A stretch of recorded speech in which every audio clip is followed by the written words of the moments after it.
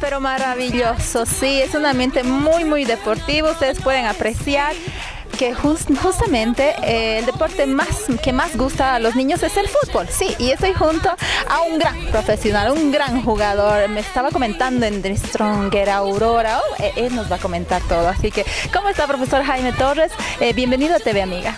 Bueno, buenas tardes.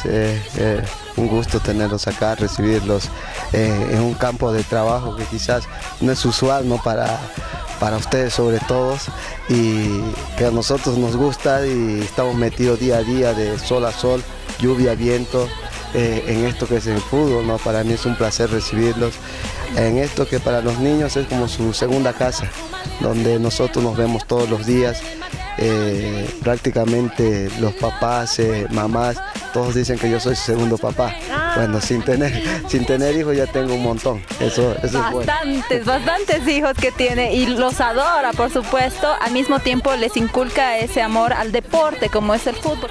La verdad, te soy honesto, el trabajo de un profesor no es nada sin el apoyo de los papás. Eh, el trabajo de los niños no es nada porque son los que los traen son los papás.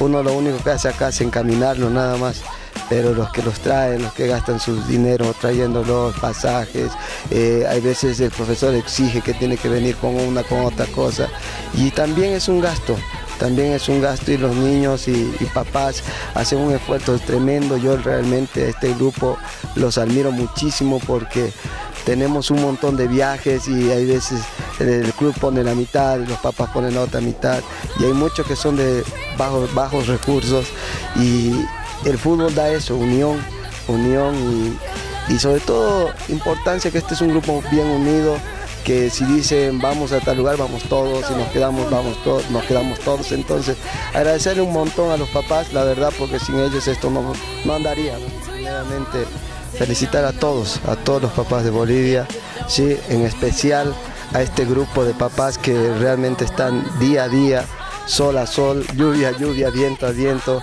acá con, sus hijos y felicitarles, ¿no? Un, darle un fuerte abrazo eh, a todos y vamos a tratar de, acá organizarlo, a organizarnos algo para, para, todos los papás.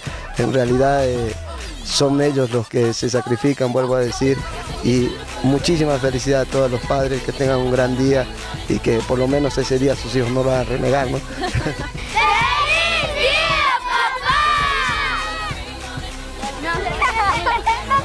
Les quiero mucho. Un beso para mi papá.